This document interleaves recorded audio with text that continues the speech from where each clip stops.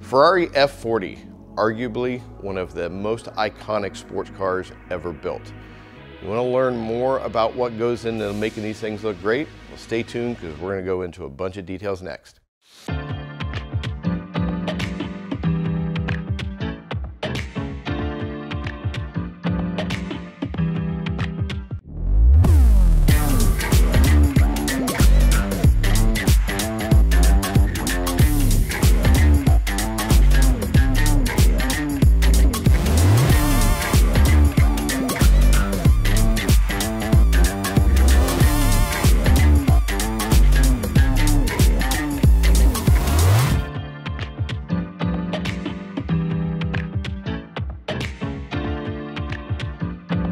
Hi, I'm Todd Cooperider with Esoteric. Welcome today for a very special video we're doing here on the Ferrari F40.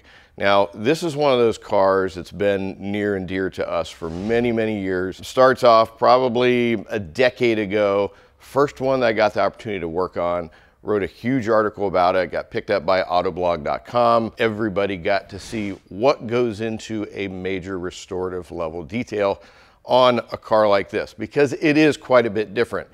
We've got a beautiful uh, 488 Pista back there behind it. Working on these two cars, completely different uh, approaches. With that article and with this car, one of the things I talked about is the preservation aspect of it. You don't just go in and start hacking away at on a car like this. There are a lot of requirements, a lot of potential issues that you have when you're working on a, a car like this. And from the preservation perspective, we as detailers, it's our responsibility to make sure sure that these things look good for generations to come. These cars are going to be around for a long time.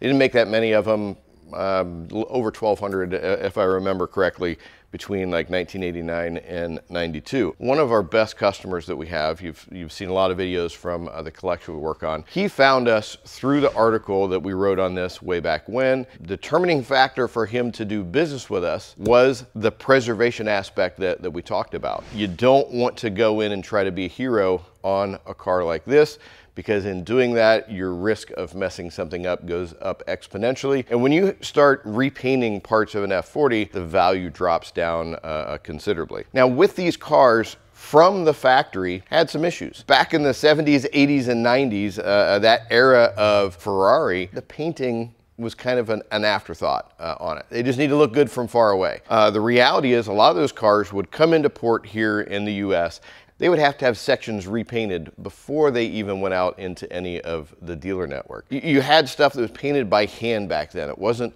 robotics. You had body panels that were different. There's a few different molds on these cars. Things don't fit up right. Um, you know, if they had an issue with the roof, they would just paint half the roof, not do the whole thing. So you've got blend marks. Uh, you've got from the factory, you've got burnt edges on these cars. I've worked on a lot of these cars. I've inspected a lot of these cars. People have hired us to fly around the country to inspect these vehicles before they make a purchase on them. And I can tell you, go around these cars and tell you where you're probably going to find burnt edges on it, where you're going to find edges that are really, really thin. And because of the nature of the shape of it, everything is sharp angles. So if, if you're not being really careful about the preservation aspect, you're going to create some of your own history in the car, and that's something that we definitely don't, don't want to do. So with the F40 being one of the most challenging cars ever made from a detailer's perspective, you have to be careful. You have to know what you're looking for. When a car like this comes in, one of the first things we do is we spend a tremendous amount of time inspecting. You know, I've got the light right here. I'm looking at every square inch. I know where to look for specific problems, areas where we may have to be really cautious. You're gonna get these cars, like I said, you're gonna find burnt edges. You're gonna find areas where paint was blended in. A lot of time that could have come from the factory or from the port. You need to know how to deal uh, uh, with that.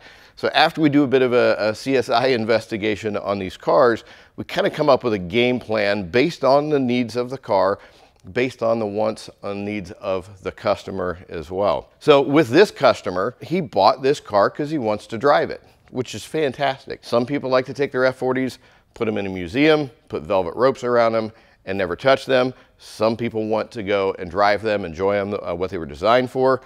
Either way is fine. Uh, there's no right or wrong uh, answer there. But with this customer and looking at this car, we looked at it and decided, okay, we're going to do a, a lighter level polish. We're not going to go into a restorative level detail. It wasn't all that bad to start with. Uh, and then, since he's going to drive it, we're going to put some paint protection film on it. Now, we're not going to wrap the entire car. It was a, a, one of the original conversations we had, but we're going to do a high impact area, the front end, lower rockers behind the rear wheels, so you can go out and drive it and not damage any of the paint. Now, what would keep you from doing a full wrap on a car like this? Well, first of all, F40s Another thing, in addition to thin areas and burnt edges, you can find a lot of cracks in the paint in different areas. So if you go and lay down film on that, later on down the road, if there's an issue and you want to pull uh, the paint protection film, you've got a very high degree of pulling paint with it. You want to repaint that whole back end, that's a completely different uh, um, situation that you're dealing with. And you really have to get this to a specialist who knows the F40 and how to do any repainting on it. So for this one, we decided not to, to go uh, that route on it.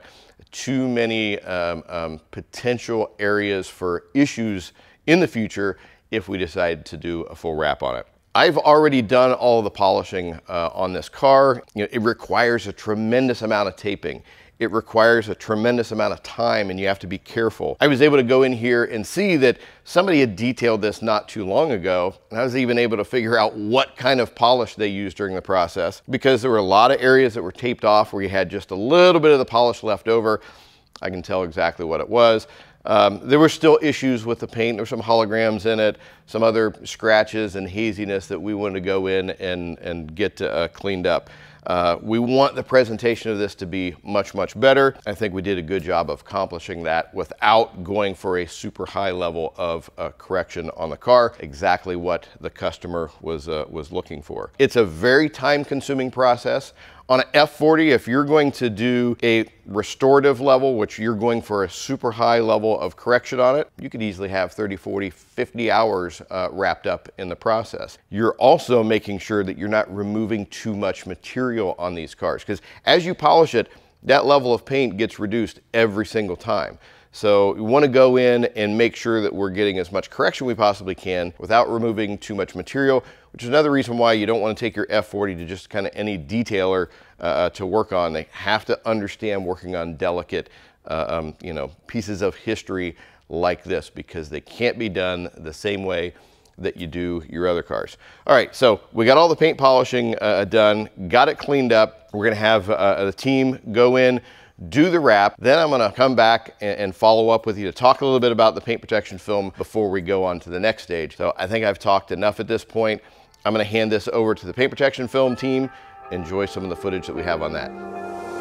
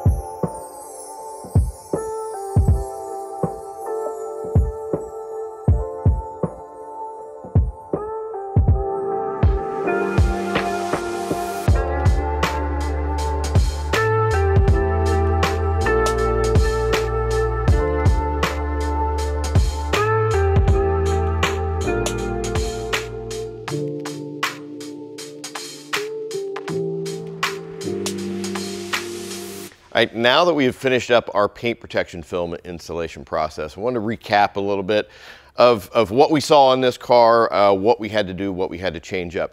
Just like with paint polishing on an F40, you don't just send it off to a new detailer to, to be working on.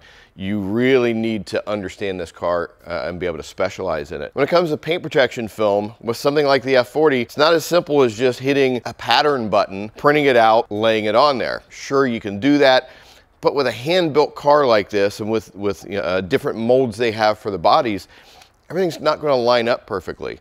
Uh, and when we went to work on this, we had to uh, you know, go to great lengths to customize areas of it to make sure things fit perfectly and as seamless as possible. On the paint protection film, we did full front end, mirrors, rockers, halfway up the doors, and the entire lower rear bumper on this. This hood here, this is three different pieces. We want to minimize, you know, how you can see the seams, where they lie in there, and get alignment of everything else. That front lower area, um, you know, the team had to get really creative on how they came about customizing that piece to make it look as good as possible. So it's not just a simple process. This isn't, you know, going to your dealer uh, and, and ordering up a um, partial front end paint protection film where it's just pattern, there's nothing wrapped on it. Nothing like that when you're dealing with the F40. Everything about these cars are completely specialized. Now when you uh, uh look at this, you have to look really hard to find where there's paint protection film and that is a sign of a good uh, install right there. We want this to look good for a, a long period of time, and by taking that extra amount of time, it ensures that we're not going to have issues with it. It's going to look fantastic, and most importantly, people aren't going to notice that it has film on it. Now, as we said earlier, you know, the customer wants to go out and drive this, have fun with it, you know, shoot some videos and stuff uh, uh, with it. Now with the front end, the lower rockers, uh, your high impact areas, it's all protected in film. They can go out, have some fun, and not have to worry about uh, the delicate paint on the F40. Next up is ceramic coatings on this a little bit more straightforward, but you wanna make sure that you know what you can coat, what you can't coat. You know, some of these rubberized trims and things are a little bit different than you're gonna find on regular cars. For this one, we decided to go with ISM 1.0 by Kamikaze Collection. Why? A, just love that uh, product. It's easy on, easy off. Uh, B, I know that on these Ferrari Reds, it looks absolutely amazing. Not many years ago, we did a beautiful red LaFerrari uh, with ISM coat on it, some of the craziest photography that I've ever taken of any car. So red Ferrari with ISM coat, absolute winner. So we'll go in, protect uh, all the different areas of the car. That way, once again, they can drive it. They're gonna be washing this a lot. Um, wanna make it as easy as possible to clean up. Then this car is ready to go. They can go out, it's going to look fantastic. It's gonna have uh, protection from rock chips with paint protection film, and then it's got the coatings on it to maintain those good looks for a long period of time and make maintenance easier um, for this car because it is going to be driven a lot. Right, another cool thing we've got going on with this car, we've got a set of HRE wheels uh, on order for these. They're being built in California right now.